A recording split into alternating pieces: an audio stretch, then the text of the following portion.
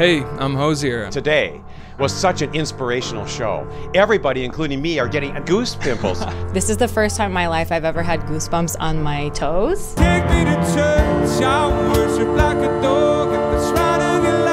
For, for me, it, it's not it's not all that controversial or something like that. It's, the video references uh, specifically uh, an increase of these very organised kind of ambushes and attacks and torturings of, of young LGBT members in Russia.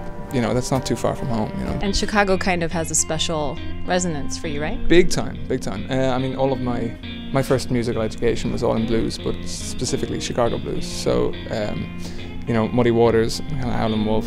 Um, there's there's a, there's a lot of kind of history to, to, the to the city, which is completely in my in my was my first musical education, how I learned how to play guitar, and uh, so it's it's I've, it's a city I really want to spend a bit more time in and see some live music in.